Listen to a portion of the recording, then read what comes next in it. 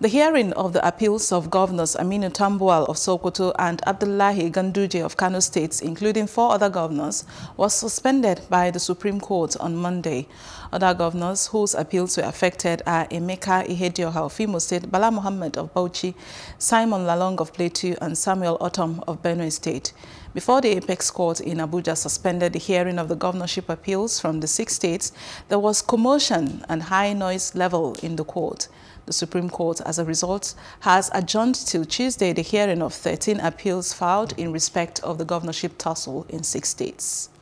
The CJN who presided told us that one of the members has some health issues, uh, has some health issues, and uh, that it was rising so as to reconvene. And uh, it's possible that the issue could not easily be resolved.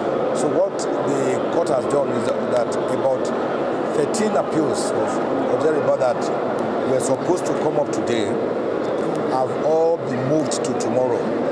None of these appeals for now will lapse by a fraction of time. So hearing them tomorrow is also as good as hearing them today. For the court to be taking about 13 appeals in one day, I think uh, we need to do something about um, how to bring justice nearer the people. Number one, my first suggestion is that the Supreme Court, which currently has about 15 to 16 justices, should be complemented by the full panel, which is about 22 constitutionally.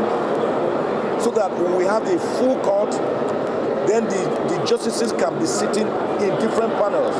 There are up to three courtrooms here. But for one panel to just be handling about 13 appeals, we are talking of strong political matters.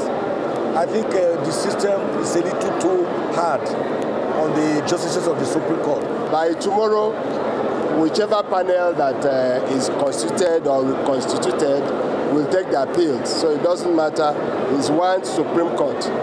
We are expecting seven justices to constitute the panel, and whichever panel we see here tomorrow will take the case. It's as simple as that.